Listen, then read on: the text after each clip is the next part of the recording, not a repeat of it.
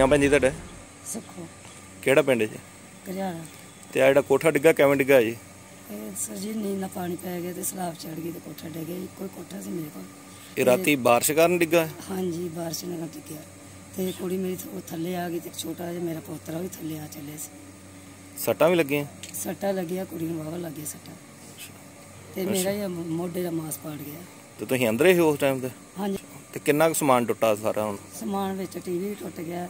ਕੁਰਸੇ ਦੋ ਤਿੰਨ ਟੁੱਟ ਗਿਆ ਪੱਖੇ ਵੀ ਹੈਗੇ ਸੀ ਵਿੱਚ ਉਹ ਵੀ ਟੁੱਟ ਗਏ ਇਹ ਬੈੱਡ ਮੰਜਾ ਜਿਹੜਾ ਉਹ ਵੀ? ਹਾਂਜੀ ਇੱਕ ਬੈੱਡ ਟੁੱਟ ਗਿਆ ਤੇ ਇੱਕ ਹੀ ਨਿਕਲਿਆ ਮਸਾ ਜੀ ਇੱਕ ਵਿੱਚੇ ਟੁੱਟ ਗਿਆ। ਹੁਣ ਕੀ ਮੰਗ ਕੀ ਕਰਦੇ?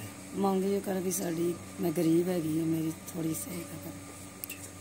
ਇਹ ਇਹ ਕੱਚਾ ਹੀ ਕੋਠਾ ਸ਼ੁਰੂ ਤੋਂ ਹੀ? ਹਾਂਜੀ ਕੱਚਾ ਸੀ। ਸੁਣ ਜਾਂ ਕੀ ਗੱਲ ਹੋਈ? ਕਿਸ ਤਰ੍ਹਾਂ ਲੱਗੀ ਸਾਡੇ? ਜੀ ਭਾਜੀ ਇਹ ਨਾ ਬਾਰਿਸ਼ ਹੁੰਦੀ ਸੀ ਨਾ ਤੋਂ ਦੀ ਵਜ੍ਹਾ ਨਾਲ ਨਾ ਕਮਰਾ ਡਿੱਗ ਗਿਆ ਸੀਗਾ।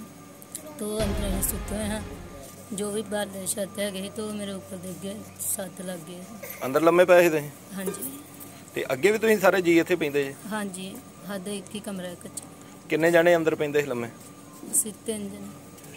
ਇਹ ਰਾਤੀ ਡਿੱਗਾ ਜਦੋਂ ਬਾਰਿਸ਼ ਆਈ? ਹਾਂਜੀ। ਤੇ ਇਹ ਪੱਕਾ ਨਹੀਂ ਸੀ ਕੋਠਾ? ਨਹੀਂ ਜੀ। ਕੱਚਾ ਹੈ। ਤੇ ਕਿੰਨੀ ਸੱਟ ਕਿੰਨੀ ਲੱਗੀ ਤੁਹਾਡੇ?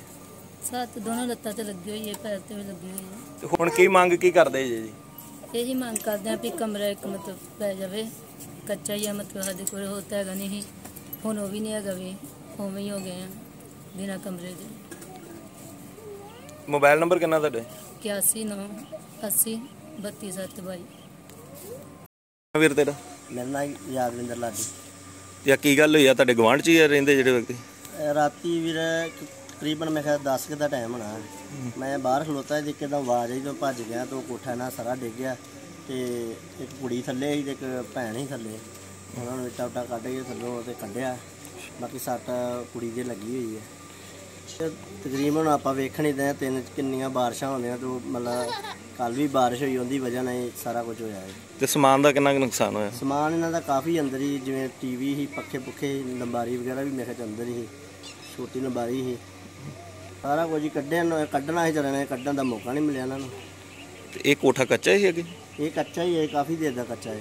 ਹੁਣ ਕੀ ਮੰਗ ਕੀ ਕਰਦੇ ਜੀ? ਮੰਗ ਇਹੀ ਕਰਦੇ ਹਾਂ ਕਿ ਮਤਲਬ ਮਾਤਰ ਬੰਦੇ ਇਹਨਾਂ ਦੀ ਕੋਈ ਨਾ ਕੋਈ ਲੋੜਵੰਦ ਸਹਾਇਤਾ ਕੀਤੀ ਜਾਵੇ।